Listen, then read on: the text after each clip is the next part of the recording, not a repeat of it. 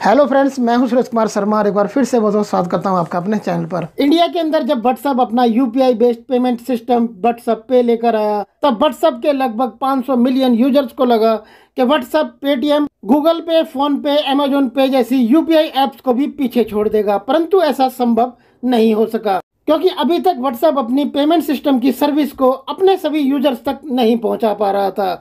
आपको बता दें कि अभी तक व्हाट्सएप के पास केवल इतनी ही अनुमति थी कि वो 40 मिलियन यूज़र्स तक ही अपनी व्हाट्सएप पे सर्विस को पहुँचा सकता था। यही कारण था कि व्हाट्सएप का यूज़ करने वाले लाखों ऐसे यूज़र्स थे जिनके मोबाइल फ़ोन के अंदर व्हाट्सएप तो था, परंतु व्हाट्सएप के अंदर उनके व्हाट्सएप पे का फीचर नहीं था।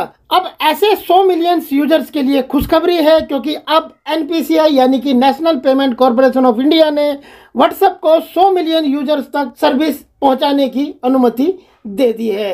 अब एन की इस अनुमति के बाद ऐसा माना जा रहा है कि व्हाट्सएप अपने यूज़र बेस में 60 मिलियन नए यूज़र जोड़ पाएगा। और जो व्हाट्सएप के यूज़र्स अभी तक व्हाट्सएप पेमेंट सर्विस का इस्तेमाल नहीं कर पा रहे थे, अब वो भी व्हाट्सएप पेमेंट के ज़रिए एक दूसरे से लेन देन कर पाने में सक्षम हो सकेंगे। आपको बता दें कि व्हाट्सएप को अपनी व्हाट्सएप पे सर्विस चलाने के लिए काफ़ी पापड़ बेलने पड़े हैं। 2018 से ही व्हाट्सएप अपने वीटा मोड में केवल एक मिलियन यूज़र्स के साथ UPI based payment system WhatsApp पे चला रहा था। और इसकी सबसे बड़ी वजह यह थी कि रिज़र्व बैंक ऑफ़ इंडिया यानी कि आरबीआई की डेटा लोकलाइजेशन की पॉलिसी मतलब डेटा सेंटर देश में स्थापित करने की नीति व्हाट्सएप द्वारा पॉलिसी की सभी शर्तों को पूरा नहीं कर पा रही थी। इससे पहले नवंबर 2020 में एनपीसीआई ने व्हाट्सएप को मल्टी बैंक मॉडल आधारित यूपीआई में प्रवेश की अनुमति दी थी।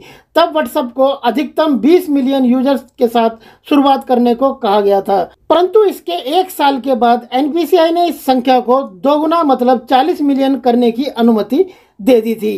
तब से लेकर अभी तक व्हाट्सएप के पास अपनी व्हाट्सएप पेमेंट सुविधा को पहुँचाने की अनुमति जो थी, वो केवल 40 मिलियन यूज़र्स तक ही थी। परंतु व्हाट्सएप द्वारा डेटा स्टोरेज के नियमों को सही से पालन करने को लेकर एनपीसीआई पूरी तरीके से संतुष्ट है, जिसे लेकर एनपीसीआई ने आरबीआई को जानकारी दी कि वो पूरी तरीके से व्हाट्सएप द्वारा डेटा स्टोरेज के नियमों को पालन करने को लेकर संतुष्ट है और इस सेवा को लाइव किया जा सकता है।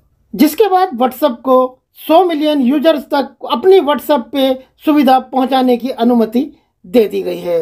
इसका अर्थ है कि अब व्हाट्सएप के 100 मिलियन यूज़र्स ऐसे हैं जो व्हाट्सएप की व्हाट्सएप पे सर्विस का लाभ उठा सकेंगे। हम आपको नेक्स्ट वीडियो में बताएँगे कि आप व्हाट्सएप के अंदर किस तरीके से अपना बैंक अकाउंट ऐड करेंगे, अपना यूपीआई आईडी क्रिएट करेंगे और उसके बाद किस तरीके से आप अपने व्हाट्सएप के द्वारा किसी की भी यूपीआई आईडी व्हाट्सएप में डालकर पेमेंट सेंड कर सकेंगे। उस वीडियो का लिंक आपको हमारे इस वीडियो के नीचे डिस्क्रिप्शन में मिल जाएगा, जिसे देखकर आप व्हाट्सएप का पूरा यूपीआई पेमेंट सिस्टम का सेटअप कर सकते हैं। आई होप फ्रेंड ये वीडियो आपके लिए ज़रूर हेल्पफुल रहा होगा। व्हाट्सअप से रिलेटेड और ज़्यादा बेहतरीन वीडियोस के लिए आप हमारी व्हाट्सअप की प्लेलिस्ट जाकर देख सकते हैं। प्लेलिस्ट का लिंक आपको इस वीडियो के नीचे डिस्क्रिप्शन में मिल जाएगा। यदि आपको वीडियो पसंद आया हो तो इस वीडियो को लाइक करें शेयर करें अपने दोस्तों के साथ व्हाट्सएप और फेसबुक पर। अगर अभी तक आपने हमारे चैनल को सब्सक्राइब नहीं किया था तो नीचे लाल वाले सब्सक्राइब के बटन को प्रेस कर चैनल को सब्सक्राइब कर लें। बराबर में बेल का आइकॉन है, उसे भी ज़रूर प्रेस करें ताकि जब भी इस चैनल पर कोई नया वीडियो अपलोड करें तो उसका नोटिफिकेशन आपको सबसे पहले मिल जाए।